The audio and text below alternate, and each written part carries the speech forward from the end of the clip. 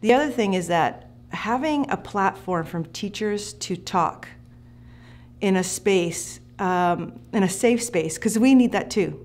We really need, uh, because we do deal with a lot of uh, of trauma, whether it's like our, our, our, own trauma or just trauma through the child and their families and what they're going through and the workload that we go through, that it would be great for teachers to be able to sit way more often and just acknowledge each other. And we have, um, teachers are incredibly creative.